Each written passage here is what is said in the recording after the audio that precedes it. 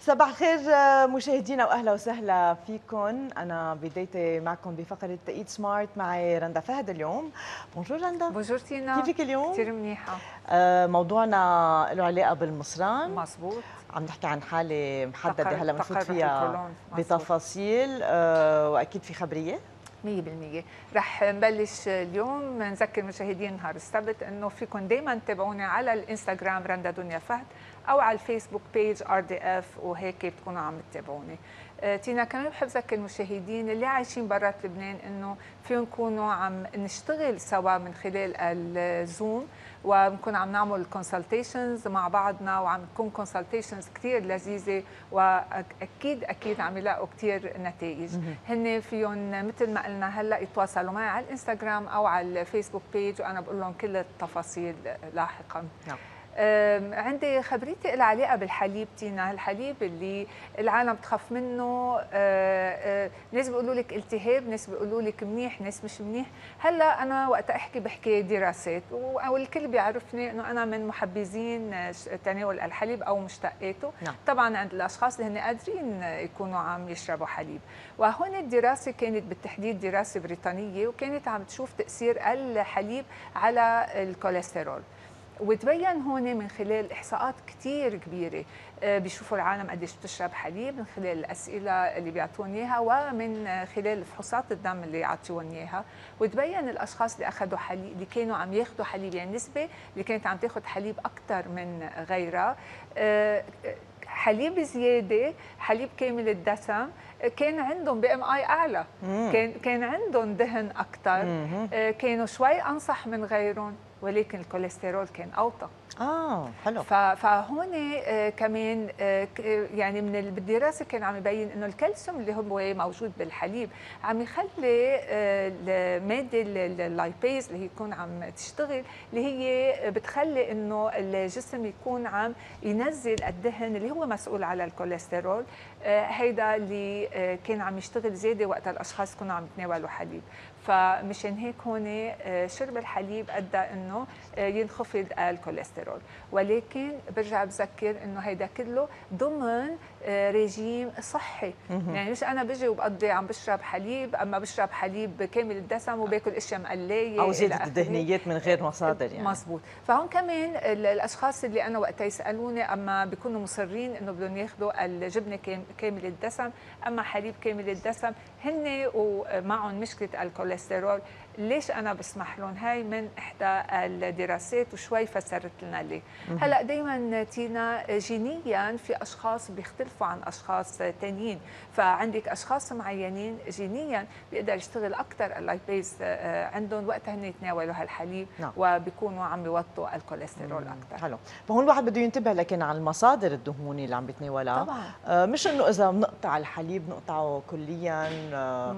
وفي أشخاص يمكن بيقطعوا الحليب ومشتقاته وفي دهون عاليه طبعا بنظام الغذائي. إيه، عم يخبصوا ب- بغير شيء. بخبريه ثانية بيكونوا يمكن سامعين خبرية عن الحليب أما هيك أنا اليوم بحكي بحكي دائما أبحاث عم تصير نحن كل مرة الأبحاث بتكون جديدة أبحاث أكثر وأكثر بتفرجينا آه، كيف نحن كشخص كل شخص كمان مختلف عن الثاني لكن نحن وقت نعرف بالأبحاث فينا نكون عم عم نقول إنه okay هيدا ال research البحث بين هالشيء خليني أنا أكون ماشية معه بطريقة مضبوطة. وساعتها بنشوف هون شو بتكون النتيجة. حلو. لكن اليوم عم نحكي عن المصران الغليظ نعم. آه، شو هي هال okay هالعارض لكن- فينا نقول. لكن هون عم نحكي على ال ulcerative colitis هلأ آه، بنسمع كثير نحن بال Crohn's disease. Crohn's وقتها بدي شوي فرق الفرق حتى أرجع أحكي لأن على اثنيناتهم بنفس. المنطقة آه، تقريبا تقريباً؟ آه. هي بتختلف هي المنطقة يمكن هيدا. اللغط لكن. exactly so وقت يكون عندنا ال Crohn's هو التهاب بالمصران ولكن الالتهاب بال- بالمصران اللي هو كل المصران. ببلش من الجهاز الهضمي كله مش المصران من المعدة حتى؟ كله كله في في يوصل ل يعني. إيه 100% so كله سوا. هيدا من ميل. بال Crohn's اجمالا ما بينعمل عمليات وال flare اليوم ما رح نحكي عنه. بال ulcerative colitis لكن هو تقرح ulcer. مم. تقرح بالكولون والمخرج. نعم. فإذا المصران الغليظ والمخرج مش مم. بيكون بالطبقة الفوقانية. فإذا هيدي بتكون محددة هلأ بال ulcerative colitis هالقد بيكون في تقرحات أوقات الأشخاص رح يشوفوا دم آه، عم يخرجوا دم هون نعم. آه وهون بخافوا يكون في شيء له علاقة ب cancer الكولون. لكن مم. الفحوصات وال colonoscopy بتقدر تبين لنا شو صاير. ولأنه عم ينزل هون كمان دم آه معقول كثير الاشخاص ينقصهم حديد.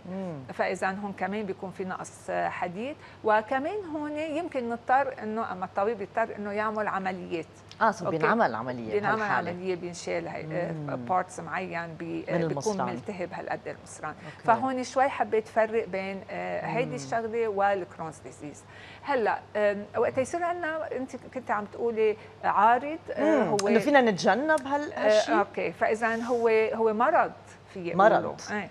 فإذا it's disease هيدي شغلة. هلأ نتجنبه رح أقول لا لأنه نحن ما قلنا خصه إنه هو صار. يعني مش إنه أنا أكلت هالأكلة صار معي ulcerative colitis هي طبعا الالتهابات بالجسم التهبت كان عندي نقطة ضعف بهيدا المحل وصار عندي وراثة أو هالفلير. أكيد في كثير منه آه كمان في عامل وراثة. في عامل وراثة على الأكيد. فإذا هون بس اللي قلتيه انت العارض مزبوط وقت يكون عندنا الفلير. نعم. فإذا فجأة أنا يعني. الكريزة. مم. صار عندي أوجاع بطن كثير صار عندي آه عم بستفرغ عم نشوف دم آه بالمخرج وقتها نفوت على التواليت كل هالأشياء. فإذا هون بدنا نروح عند الطبيب ونعرف ساعتها آه إذا معنا هيدي الحالة. هلأ نحن أكلنا بهيدا ال flare آه بده يكون أكل مخصص لارجع على على أكلاتي. وهذا الأكل شو؟ أول شيء كل شيء بيعمل trigger وكل شيء بيعمل التهاب بيكون عم بعد عنه. هلا ال trigger هون أكيد أكيد ببلش بالكحول والكافيين فنحن بدنا نوقف الكحول والكافيين هون. ما عادت قديش بنحكي عن القهوة منيحة بهالحالة القهوة مش منيحة. وبس بهالمرحلة فينا نقول؟ أه، مزبوط. لأنه وقت يكونوا مرتاحين فينا نرجع بعض الأكلات ولكن بدنا ننتبه هون. هلا الشغلة الثانية هون بدنا نعطي شيء بنقول له low residue diet اللي هو ال diet اللي بيحتوي قليل الألياف. فإذا صارت الألياف اللي هي نحن دائما بنقول إنها بتجنن بتوطي كوليسترول بتوطي السكر آه كثير منيحة بتبعد ال cancer المصران بتخلينا نفوت على التواليت بطريقة منتظمة ولكن هون هي كمان صارت آه، عم بتضايق. نعم. فاذا آه، بنرجع بنحكي إنه بدنا نعطي low residue diet طيب شو هو هال diet اللي هو قليل؟ الألياف الأول شغلة بدي أحكي عنها هي الألياف اللي هي موجودة بالبقوليات. فإذا نحن أكثر يعني العالم دغري بتقول لي رندا وقفت رح أعطي مثل بسيط يعني لبسط الأمور. خبز الأسمر أو أو خس. الخس إيه, إيه لأنه يعني الياف إيه أوكي. يعني بيطلعوا بالخضرة النية إنه الخسة. وبذكرها وهي مش أول مرة بقولها على الهواء انه يمكن أنا كباية من الخس تعطيني جرام واحد من الألياف. من الألياف. إيه بينما عندي الألياف اللي هي بطريقة كثير عاليه آه، هن البقوليات خصوصا وقت ناكلهم مع القشر. فبهالوقت أنا مجبورة وقفهم أو مجبور وقفهم. نعم. فكل شيء فول فاصوليا حمص عدس بدي وقفه. طب هودي غير الألياف هول عم يعطونا البروتين. أكيد. فاذا أنا بدي آخذ مصدر ثاني من البروتين وأنا ما عندي مشكلة نكون عم ناخذ البيض السمك اللحمة الدجاج على الاكيد فينا نكون عم ناخذهم فهون غذائيا خصوصا إنه عم نخاف ما يكون صار معنا فقر الدم. إيه ونحن بحاجة. exactly فبدنا نكون عم ناخذهم هلأ ما في يكون عم بياخذهم مقليين لأنه كل شيء مقلي واكثار الدهنيات كمان منه منيح هون. فأكيد بيكونوا مطبوخين أو بده يكونوا. مشويين أو بقلب طبخة. هلأ برجع على نحكي على الألياف اللي هي موجودة بالخضرة. أكثر شيء الألياف الموجودة بالخضرة هي موجودة بالقشرة. اذا هون أنا إذا الشيء اللي بقدر أتحاشى القشرة عنه في أكله. كفواكة يعني هون عم نحكي أكثر خضره رح اعطيكي مثل لأنه كمان فكرتي بالفواكه تينا بس خضره مثلا الخيارة. أوكي. عرفتي؟ انه بدنا نكون عم نقشرها. حتى إذا البندورة قشرناها وشلنا هالبذر منها كمان فيها تكون عم بتخفف. هلأ أه برجع بقول إنه أكيد في أكل الخضره الورقية. بنرجع بنحكي خس نعناع أه بقلة etcetera هل ولكن باعتدال. مم. إذا أنا عم أقول فنجان من من الخضرة الورقية يمكن أعطاني بين جرام جرامين ألياف. ولكن إذا أنا أكلت 10 فناجين نعم. رجعت أخذت ألياف كثير فإذا هون بهيدول الخضراء في أكلهم ولكن باعتدال. طبعا في آكل البطاطا هون لارجع أحكي على الأشياء اللي هيك بتهدي هال هالتقرحات البطاطا كثير منيحة في آه. ناس بياكلوها بقشرتها بقول لهم لا ما بدنا ناكلها أي. بالقشرة.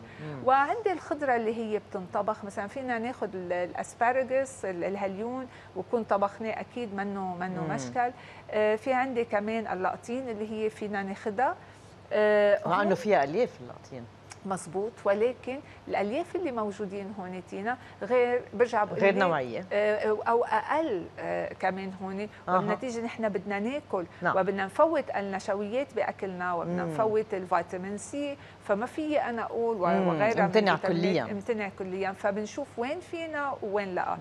آه، برجع بحكي على الخضرة المطبوخة بأول فترة جمعة جمعتين من هالوجع أنا بفضل حتى مطبوخة ما ناكلها أوكي. بس ولكن بعدين فينا نبلش تدريجياً. تدريجيا. ولكن كيف بدنا ناكلها مثلا؟ رح أعطي مثل ملوخية أو ملوخية. سلق آه مم. إيه ليش عم بعطي ملوخية مثلا؟ لأقول أنا بدنا نحط الرز. إيه. فإذا ن صحني بده يكون مألف من الرز وبعدين ملوخية مش الملوخية وشويه رز هون هون ننتبه على الكميات إيه فهون عندي صحن الرز مم. وعندي هالفنجان اللي بيتضمن الملوخية زوم و... وأكيد أنا في حط الدجاج. حتى مم. تكون البروتين وتشبعني برجع هون على بما إنه حكينا على الرز وإنت كمان ذكرتي الخبز الحبوب. نعم. آه، القمحه الكاملة exactly فهون الألياف اللي هي بال... بالحبة الكاملة كمان هيدي رح تكون عم تأذي بهالوقت مم. فهون أنا بدي أكون عم باخذ الرز الأبيض بدي يكون عم. باخذ exactly بدي يكون عم باخذ؟ الخبزه البيضاء بدي يكون عم باخذ المعكرونة و يعني اللي بفاجئ آه، بهالدايت كله إنه بقدر اخذ شوفان. أوف. إيه آه، ببين بالأبحاث إنه شوفان مع إنه هو بيحتوي ألياف ألياف. كثيره ولكن آه، ما بضايق بهيدي الحالة. أوكي. بس بنرجع على شو على الكمية. مم. لأنه كمان بحب ذكر المشاهدين إنه أنتم الشوفان كل ثلاث ملاعق كبار هي حصة. نعم. يعني بالشخص اللي بيقول لي أنا تروقت شوفان و- كباية. شبعت للظهر هون بيكون أخذ كباية. اللي هو بيكون أخذ تقريبا يمكن عندنا بالقليله تسع ملاعق أنا مم. بدي بدي أحددها مزبوط مم. يعني بتطلع شي تسع ملاعق مم. بتعرفي الشوفان بتحطي له الحليب أو whatever حليب الصويا حليب العادي آه، أو لبن حتى- باللبن أو مم. المي so هو رح ينفش إيه، يصير. صحن كبير فاذا هون آه، كمان آه، مثل ما قلنا هو ال balance. بكل شيء بضل في تينا so البرغل برا برغل أكيد برغل أكيد. برا. مشان هيك مثلا ما في ما في كمان أتفلسف بالأكل اني anyway بأول فترة. لحمة لحمة. ما أوكي. بدي أعمل كبة. إيه. يعني خليها تكون إيه، بلاد لأنه آه، نكون بسيطين بال كيف عم الأكيد. نخلط الأكل على مع بعضه. لأنه تينا كمان كثره ال spices والبهارات رح تكون عم تدق في قرحة هون نعم. بالمصران so البهارات الكثير رح تكون عم تضايق المصران وهيدا مش وقت نقول بدي شيل التهابات بلش بالجنجر وال إيه. والاخبار كلها اللي هي بدي أشربها. ما هون بكون عم ضايق أكثر. هلأ بدي يكون عم ببتعد عن كثير أكل ولكن دائما بقولها إنه ما بدي أوصل بمرحلة ما أكون عم بتغذى مزبوط أكيد فاذا أنا هون مشان. هيك بدنا ننتبه مشان هيك زيارة أخصائية التغذية بتساعد ب- أكيد. بتساعد يعني أنا هلأ قد ما بقول لكم فسرت كثير مثل العاده مم. بضلني فسر كثير بس ما ولكن هيدا الشخص اللي فرضا لا بياكل بطاطا ولا بياكل لقطين طب ما بدنا نجي أنا وياه نقعد نحكي على بديل لهالشيء نعم. آه، أو هيدا شيء بحبه كمان بنفس الوقت. اكزاكتلي يعني بديل اللي هو هو قادر بحبه مم. اللي هو قادر يتحمله. آه بعدين بنرجع بنحكي إنه عندك أشخاص لسبب أو لاخر في عندهم اكله ما بيتحملوها مم. يعني فجأة بيجي بيقول لي اللحمة الحمراء مدري شو عم تعمل فيي.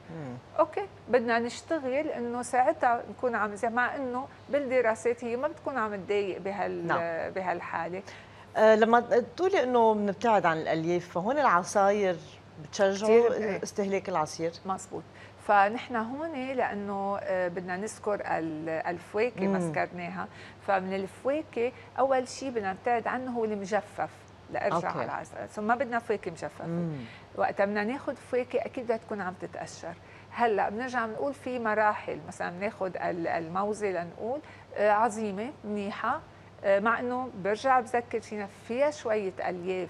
ما بدي أكون موقفة 100% كليا. exactly ولكن أخذنا أه مثلا اثنين فواكه بالنهار رجعنا ذكرنا إنه إذا عندي نجاسه بدي يكون مقشرينها. حتى إذا مقشرينها وحاطينها بالمايكروويف أما حاطين شوية مي وغاليينها هالشيء بيكون آه، أريح حلو. بيكون أريح آه، للهضم.